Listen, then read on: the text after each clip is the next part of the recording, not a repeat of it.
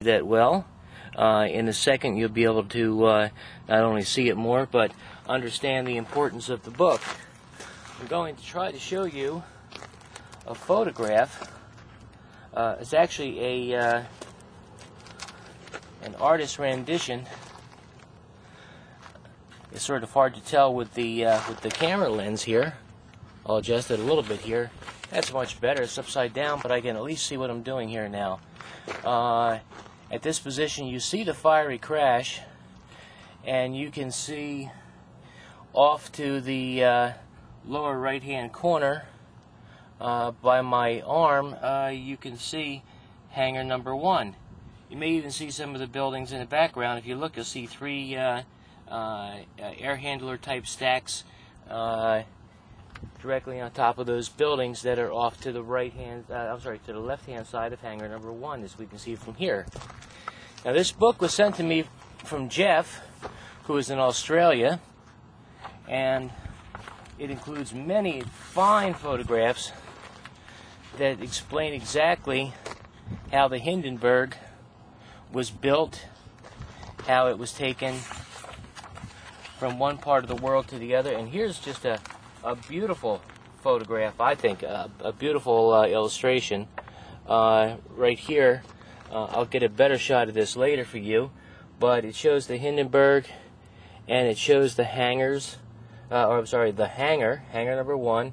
Again, let me move this book, and what I'll do is I'll go ahead and zoom in on that hangar number one some and let you see that and compare that book in that picture of the hangar. Now, it's a very gloomy day, and I came out here on a gloomy day on purpose to try to capture the uh, the mood of the uh, the image in the book and in, in the uh, in the sky. Now, again, here is it's very hard for me to do this upside down, but here's the image of the book, and again, there's the hangar.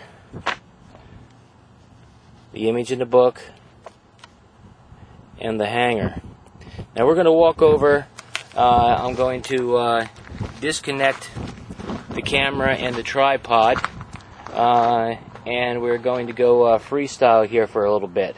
This time I'm walking a little bit closer to the actual memorial itself. As you can see, we have a central spot here is a dedication plate.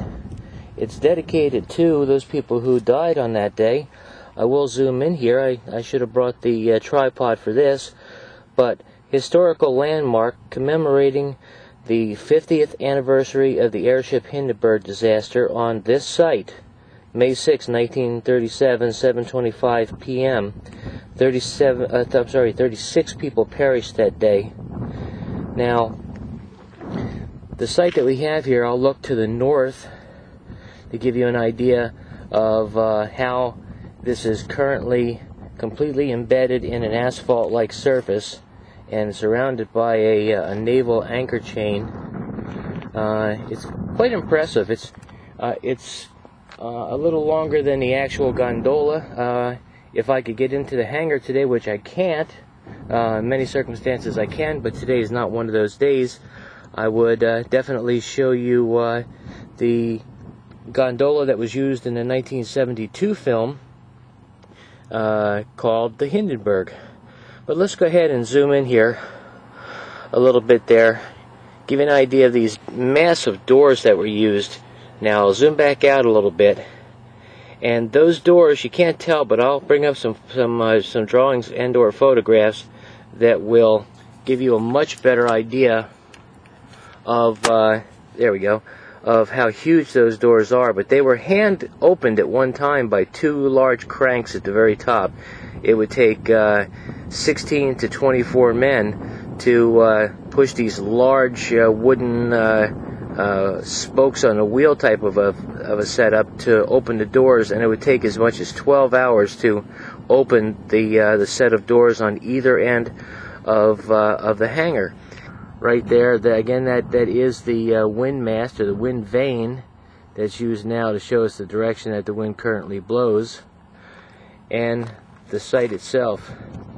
Now, the chain here, uh, this chain is sizable stuff. I, I kid you not when I say I'll put my hand in the picture and let you know that we're talking two and a half to three inch round sections of chain. Just, uh, you know, tens and tens of thousands of pounds of chain that's involved uh, around this memorial. Uh, there's really no great place to get a total view of the memorial, nor do I understand the uh, the reasoning for the color or the uh, particular patterns that are used. But let's flash back for a second here. Now we went back over to the hangar. If you look at hangar one, and and we'll zoom in a little further either, you'll notice somewhat similar colors. You'll notice uh, red and like a like a, a pink and a white and a gray tone tile. Now, from the ground, that doesn't look like much. Supposedly, uh, and this is right from any captain who's ever flown over this base at an altitude of roughly 5,000 feet, uh, you cannot see hangar number one, as huge as that is.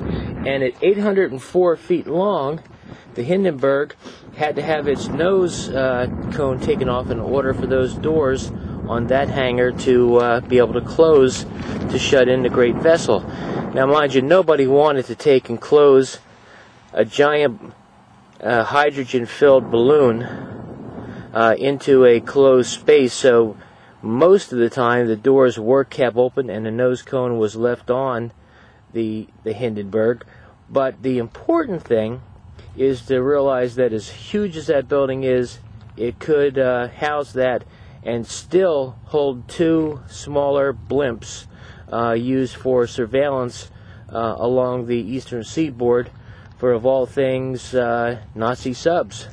And of course, 1937, uh, the reason that the Hindenburg was using hydrogen gas instead of helium is that the United States was the largest supplier of helium in the world, and we did not want to give that to uh, the Germans because we had a pretty good idea what was happening in Germany at the time, and we knew eventually we would be somehow involved in a world war, and it would be with them. So this is John Clayton, your host from BMaster.com, showing you once again the Hindenburg Memorial in Lakehurst, New Jersey.